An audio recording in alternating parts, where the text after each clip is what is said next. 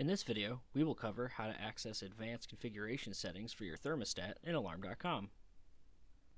Start by clicking on the Details arrow located on the thermostat card. Next, choose Advanced Configuration and select the thermostat you wish to adjust. Here, you can adjust the swing temp, overshoot, and set points for heat and cool. Under the Advanced tab, you'll find more features like heating and cooling differential. In the Installer tab, you can choose things like HVAC and heat type. If unsure what a feature does, be sure to check the question bubbles for definitions.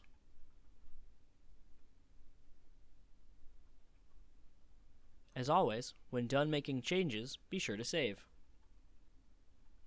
This has been Tyler with Surety DIY. Thanks for watching.